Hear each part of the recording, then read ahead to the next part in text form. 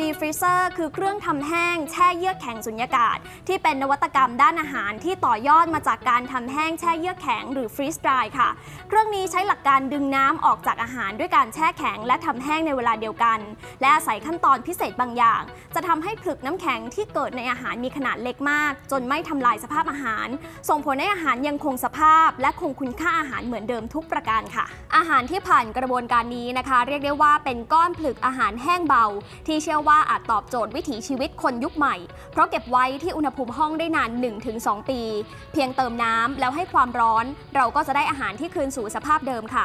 นอกจากนี้นะคะน้ำหนักที่แสนเบาก็ยังสะดวกกับการขนส่ง จึงช่วยลดต้นทุนได้อีกด้วยค่ะ มาร่วมก้าวทันไทยแลนด์ 4.0 ไปกับสเต็มวลคำนะคะสำหรับวันนี้ สวัสดีค่ะ สวัสดีค่ะ